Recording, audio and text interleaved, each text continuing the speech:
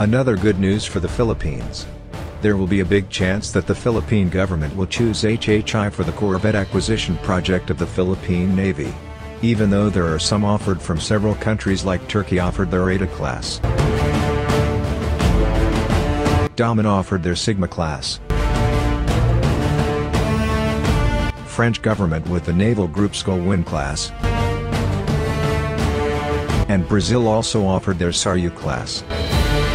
There will also a possibility to offer another Pohang class as freebies. The acquisition of this corvette is one of the most important project of the Philippine Navy. Based on the Philippine Navy's desired force mix they need 12 corvettes capable of anti-submarine warfare.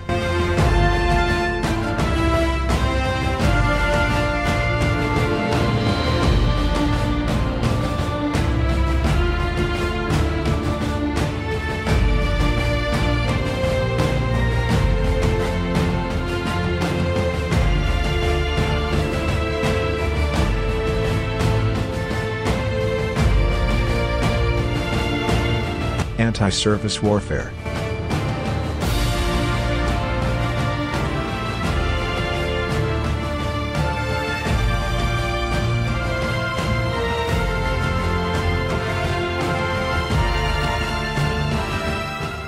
Anti-air warfare.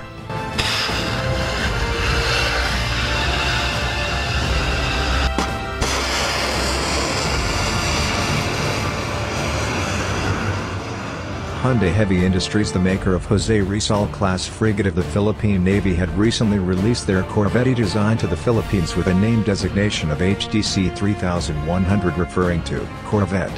HHI offered an improved class of Jose Rizal class. As we can see to their brochure the Corvette will have an overall length of 114 meters longer than previous design.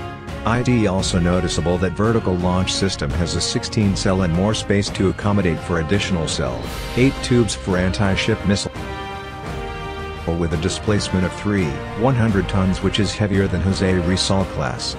This corvette will delivered with complete armaments.